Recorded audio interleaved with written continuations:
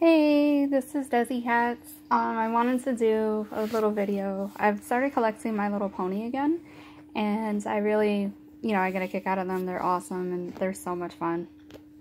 And these are the older ones. I'm not really a fan of the ponies that are of the more contemporaneous generation, I guess you could say. I, I like the one from the 80s and probably the early 90s because those are the ones that I grew up with. I was born in 87.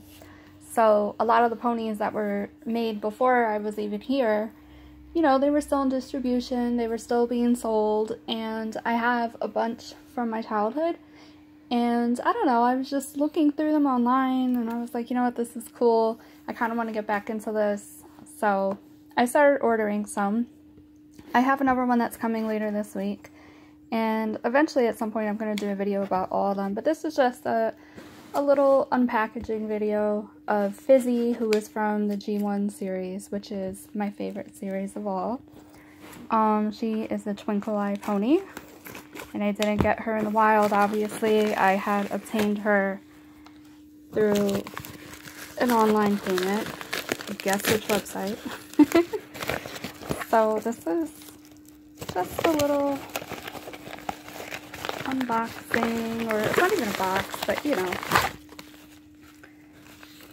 So,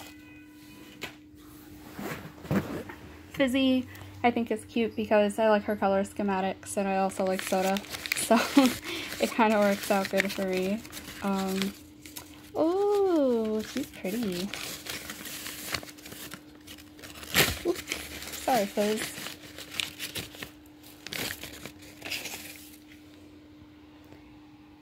Now, she's definitely used, but that's okay because I still think that she's really pretty and she's going to display nicely. Her mane is still rather smooth. It's a little dry, but it's not that bad.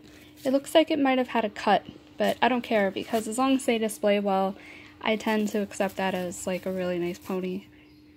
She is a Twinkle Eye series. Some people find them creepy, but I think that they're pretty. The the creepy ones are the blinking ones. Those are like next level weird. and she has a really pretty tail. I like the fact that she's multicolored and she's this great like minty color. She's not exactly teal because the last color in her mane is teal actually. And as you can see, she has her little soda, her fountain sodas.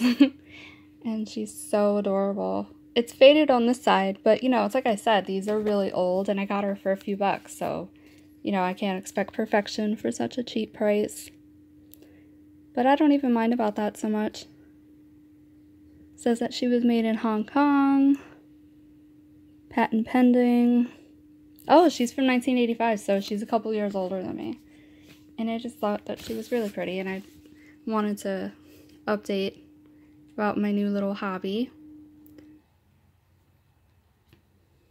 As you can see, um, she's in a little bit of a walking pose, which is very cute. And I like that very much. Very, very sweet. The person who sold her to me wrapped her up in a dryer sheet because she said that they, they came in smelling kind of like funky or musty or something. But that's actually really nice of her to do because I don't notice anything bad now. Yeah, there's not really like so much of an odor. I just think that she's going to look really pretty with the other ponies that I've got. And I definitely want to do a video update about that. And in the meantime, since I'm doing a minor update, my boyfriend set up a shelf for my dolls. It's not complete yet because some of them are still in storage at my at the unit and some of them are at my mom's apartment. Oh, Lola fell over. Lola? That's unacceptable, young lady. I dyed her hair and I dyed um, Vanessa's hair with markers. That's Amber up there, the musical girls, Clara and Alice.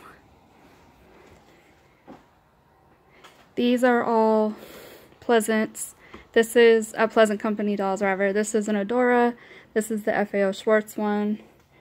My little girls, who are all Adora as well. I had redone her to look, you know, Halloween themed because the Halloween doll was too expensive. and little Des and Jackie.